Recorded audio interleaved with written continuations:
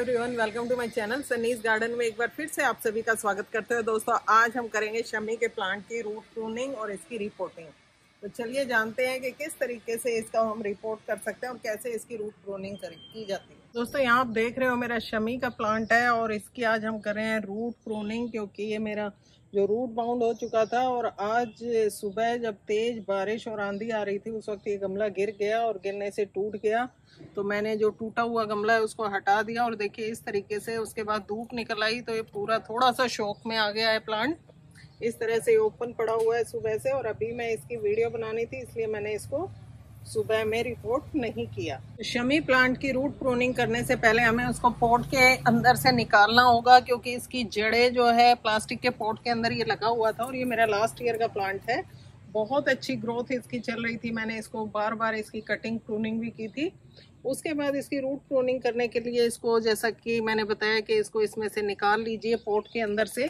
और देखिए, इसके अंदर चीटियों का भी अटैक हुआ, यानी कि जो काली वाली चीटियाँ उसने अपना घर बना लिया था तो उससे मिट्टी अंदर से इसकी खाली हो चुकी है, यानी कि एयर गैप इसके अंदर बना हुआ है। तो रूट प्रूनिंग के लिए सबसे पहले हमें चाहिए कि इसकी जड़ों को प्लांट की जो रूट बोल है, उसको हमें डैमेज नहीं करना है, बस इसकी जड़ों को नीचे से लगभग 50 परसेंट इसको किसी शार्प चीज़ से कट कर दीजिए। ये देखिए, मैं ये शार्प वाली जो करनी होती है, इसका यूज़ कर रही हूँ। जितना इससे कटता है, ठीक है, नहीं कटता है तो फिर कटर की सहायता से आप बाकी की जड़ों को काट दीजिए। दोस्तों, यहाँ आप देख रहे हो कि मैंने इसका लगभग 50 परसेंट नीचे की जो रूट है, उसको कट कर दिया और देखिए कितनी सारी रूट्स इसके अंदर से मुझे मिली है।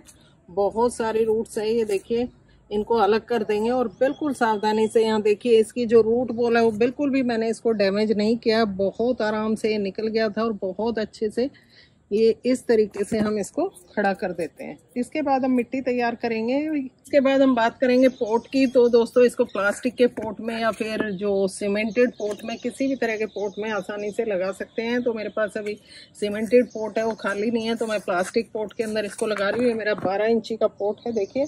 और मिट्टी इसके अंदर ऑलरेडी मैंने बना के रखी हुई थी पहले, क्योंकि ऊपर जब मैंने इसको स्टरलाइज किया था पूरी मिट्टी को रूफ टॉप गार्डन में तो स्टरलाइज करने के बाद इसके अंदर खाद वगैरह मिक्स करके मैंने सारे पोर्ट्स और ग्रो बैड को भर के रख दिया था।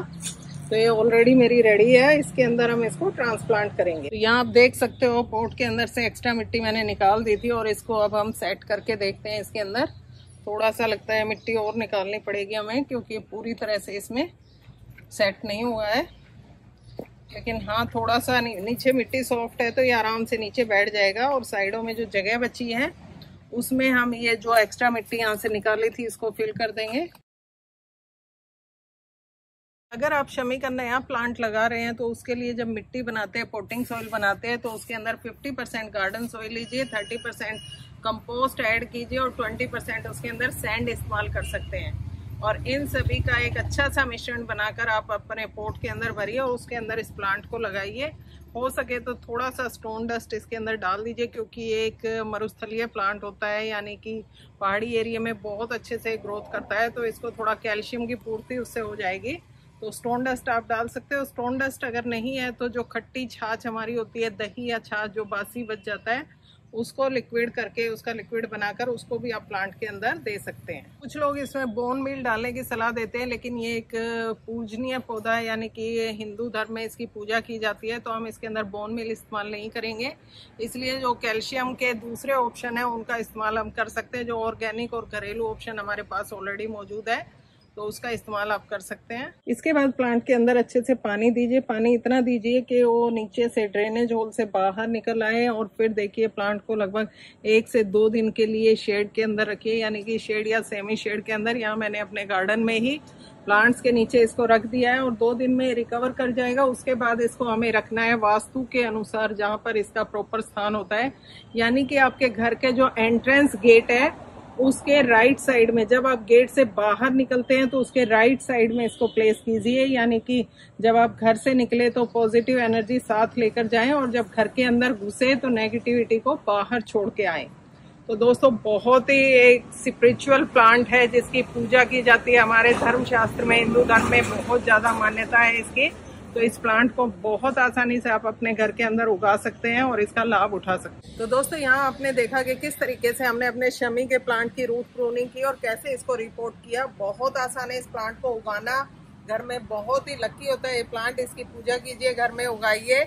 और अगर वीडियो अच्छी लगी तो लाइक शेयर ज़रूर करें। चैनल को सब्सक्राइब करें और किसी भी क्वेरी या क्वेश्चन के लिए कमेंट बॉक्स में जाकर कमेंट्स करें। Thank you